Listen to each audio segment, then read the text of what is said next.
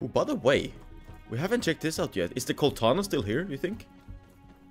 Oh, well, you guys probably know, but I don't. I kind of want to see if it's still here. Although, it's probably going to be too hot for me to go in here, I would assume. The sizzling...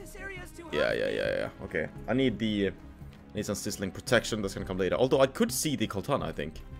Maybe we'll get the recipe from there. We'll see, we'll see.